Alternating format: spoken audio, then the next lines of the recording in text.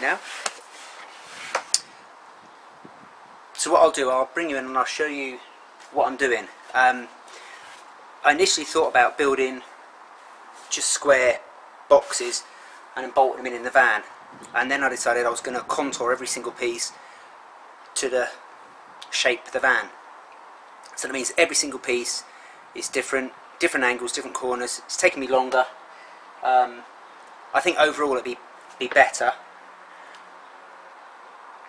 Um, plus I'm challenging myself a little bit more. So that's always a good thing, isn't it? So let me bring you into the van and I'll show you what I'm doing.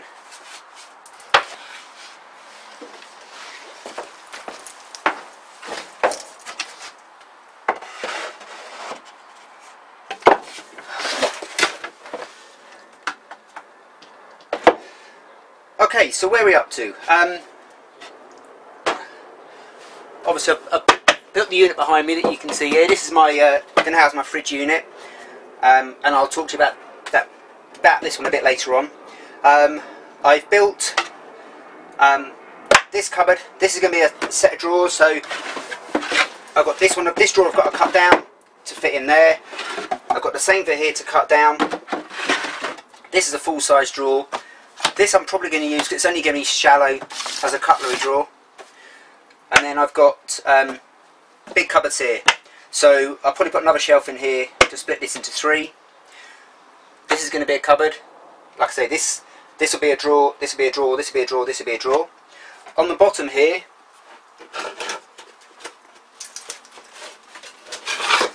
I'm going to put um, a skirting. So this is represent my skirting board. It's a piece of the tongue and groove from the ceiling.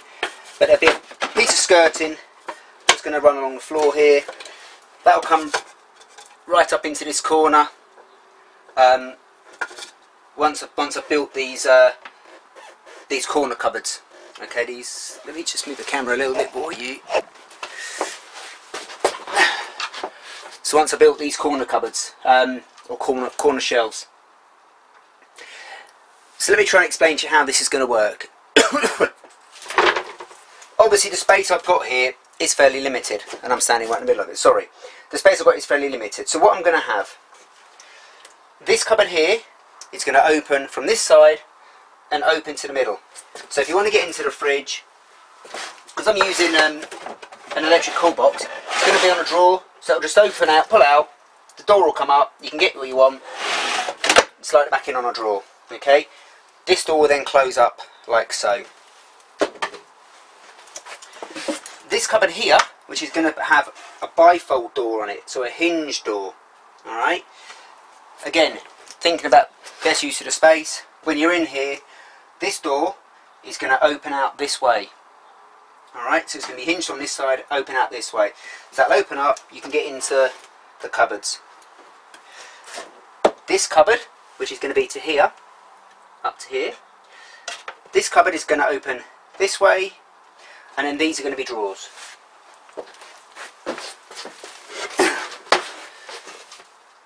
So that's the idea behind what I'm doing at the moment.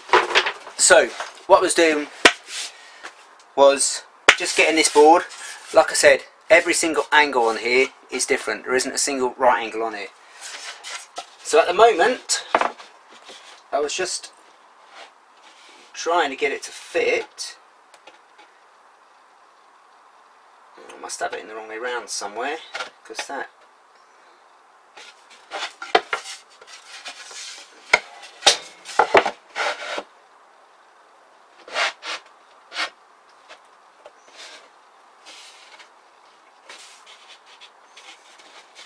Right, so that's that side.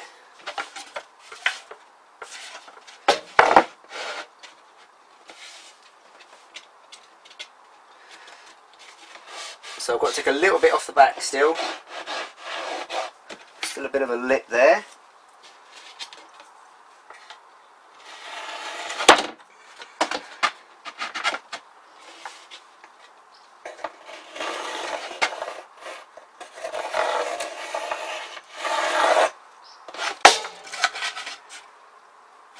As you can see, just a fraction to come off, hopefully.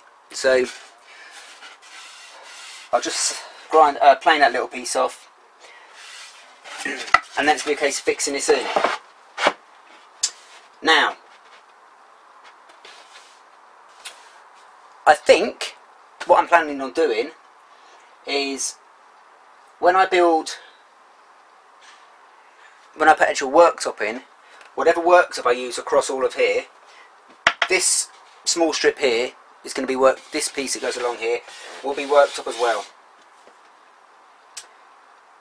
So I'm, I don't mind. I'm going to screw this in from the top. I'll screw this in from the inside. That'll be that fixed in place. What I've then got to do is build, oops, is build a piece that comes up from here, comes up to the height of this piece here. That's got to come up and there has to be a, a face on it.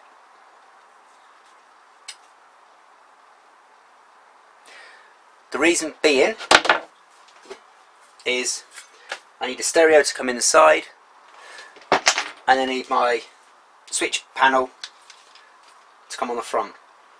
So that's what I've got to build next. Okay, so if you look at the front of this board now, I've got a bit of an overhang. Okay, now that is on purpose because I need to profile. I'm trying to zoomed in for you, maybe do that a little bit. I need to profile this backboard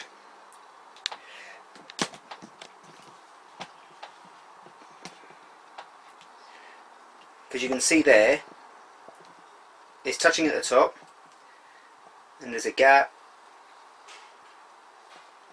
and then it almost touches at the bottom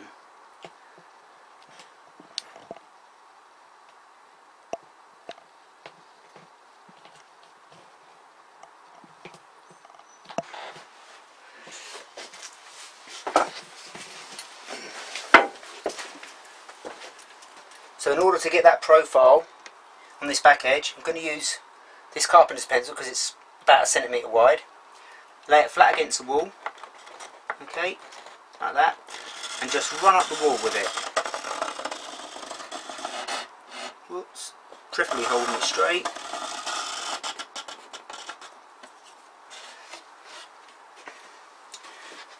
And now hopefully on the board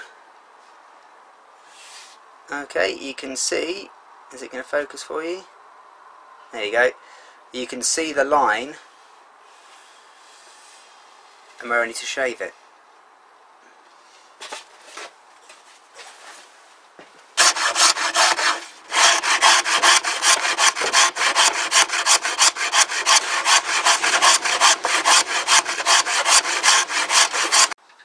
Okay, so literally just a few minutes later, alright, I've um,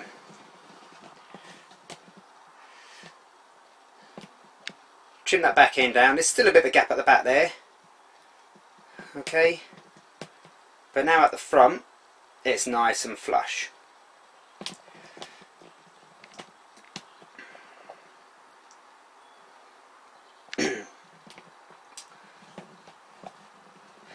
So now the next bit for me is going to be to build my front fascia board, which is the bit that's going to hold the switch panel. It's going to hold this switch panel here. Okay, so this will determine how big this is going to be. The only other thing I have to consider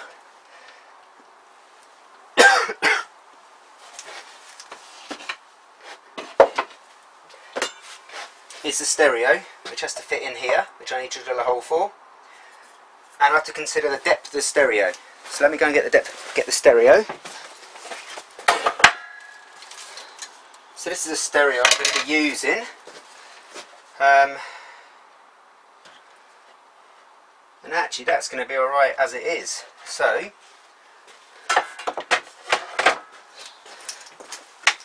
so whatever measurement that is, that's 20 at the front. That wasn't 20 at the rear. Let's have a look at 20 at the rear. Four off that. Three, three, four. Oh, and by the way, I'm working in millimetres, so if you don't know what 334 is, 3, 3, 4.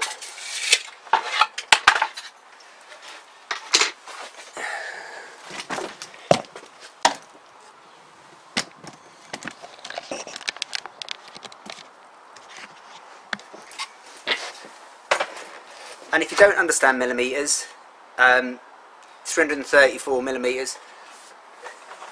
To be honest, I'm not even prepared to start going into 13 inches and so many sixteenths of an inch. Uh, yeah, I'm not doing that. Alright, so 334 millimetres.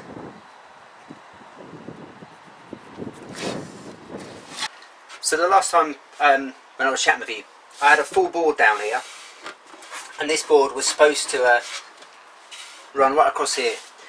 And when I looked at it, I was thinking, well, it only gives me like a narrow strip here for putting things like drinks and tablet, you know, your, your tablet or your laptop or a magazine or a book, something like that on here. So what I decided to do was make this a floating shelf. So now I've got all this space underneath here because I was going to have a small cupboard here, but I've got so many other drawers and cupboards. What do I need it for? Um, I was saying this one was going to be the cutlery rack, but I don't know. I might. It may be for cutlery. I might just use it for magazines and things like that, um, like as a bedside drawer. So I made this floating shelf. Got the stereo in. Got the electrics in. They're not wired up yet. Um, obviously, electrics are up here to do it so I'll wire that in fairly soon. And then my countertop's going to come right across here. Might even extend it slightly actually, the countertop. Maybe make a nice rounded edge or something, rather than be square. Might just round the edge off. Um, yeah, so all in all, um, I'm pleased with that. I think it looks quite good. Um, so that was a good day's work. So I've got this chest of drawers built, I've got this built, um, like I said, we've got the plinth still on the bottom. Really, my next, well, the tough part for me is working out these corner shelves because they're going to be a funny shape because each one's going to be different. Um, so I've got three to make, one for the bottom and then two in there somewhere. Um, I have got a, in my head make provisions because I've got the hob. Let me show you. Move the camera again.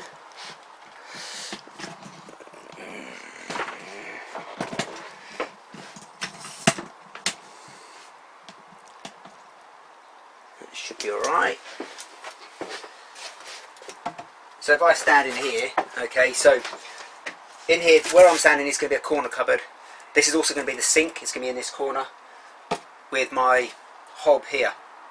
Um, so I've got the skylight right above it, so that'll be for the extractor and all that. Um,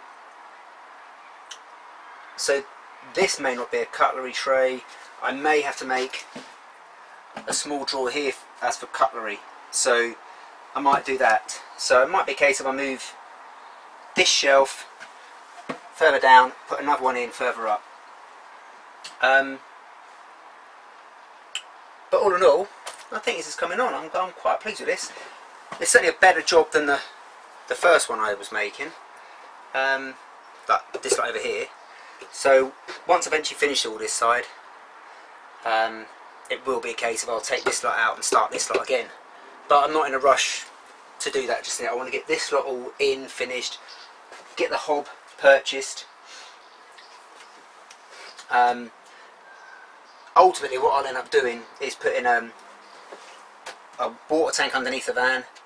At the back here, because I've obviously got this workshop, this garage at the back, so I'll be able to have things like my gas supply out the back. I'll be able to have um, the water heater and all that right out the back. And they'll be able to plumb the, the hot water through to the sink. I'll have to take a separate feed off to put into the shower for when I come to build the shower. I'm not doing it initially, but I'll plan for it. Um, but all in all, I'm quite pleased with what I've achieved. So, I know I didn't get to show you much. Um, it's really difficult trying to set the cameras up and get the angles and stuff like that when you're trying to do it. And there's not really much to show. I mean, it's just me cutting bits of wood, really.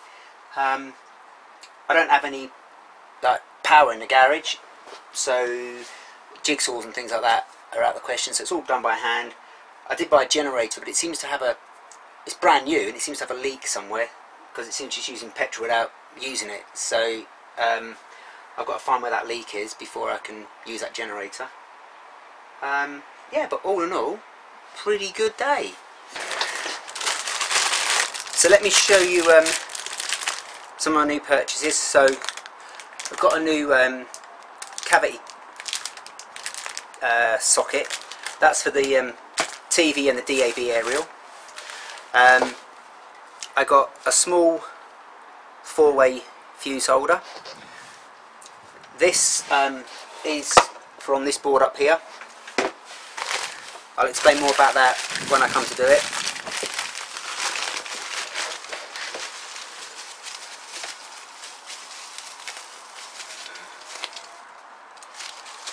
And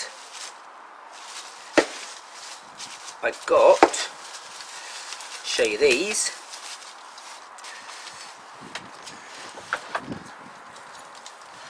I got two of each of these okay so two 30 amp and two 60 amp. Um, so like I said to you on this just about to see it yeah on this fuse board I'm going to take these two isolator keys out. There we go. I'm going to take these two isolator keys out and these two 60 amp fuses out and replace them with these two. Um, I think they're going to look better. Um, I bought the 30 amps in for things like the inverter um, the battery charger but I don't I think they're going to be too strong I don't, I don't think I need that big might be 15 amp or probably 15 amp tops so um, that's what I need to be looking at. But just to give you an idea on, on this solar panel, I'm really pleased with this solar panel. There you go. So today it was putting out, receiving, or putting out 21, 22 volts. It's now 20 past, 20 past 5 in the evening and it's still putting out 19, 19.3 volts. So really pleased with that it's um, like I said it's, it's a 100 watt monocrystalline uh, solar panel and it's just coming in into a PWM charge controller. I will maybe replace it for the um, MPPT but uh, at the minute I'm quite pleased with what it's doing. So um, yeah all in all things are going well. So really pleased with those units. Um, really itching to get them finished. Not sure if I'm going to get out here again tomorrow I'll try.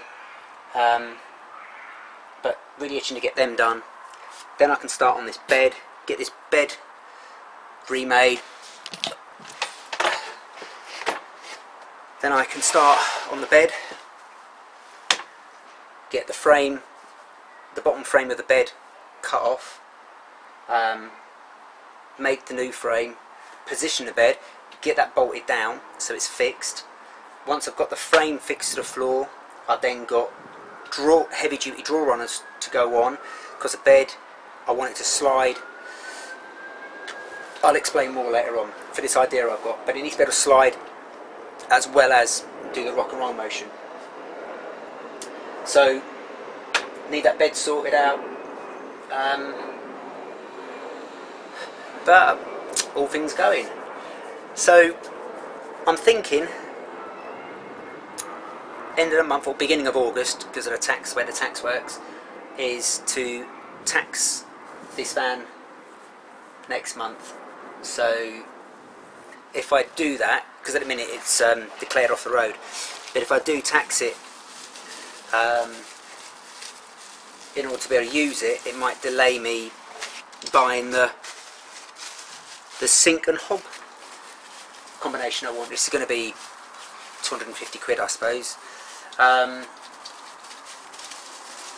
but I could buy cheap ones, but I don't want to. I don't want to scrimp on it. I've spent so much time doing everything else. I may as well go and buy a decent, you know, decent one that I'm happy with and I like the look of. And I'm not going to want to rip out in three months' time because I didn't like it. So it's a catch-22. So I'll decide what I'm going to do. I have a I have a tax van which is going to cost me about 250 280 pounds tax van for a year, or I buy the unit, the sink unit for the van. Um,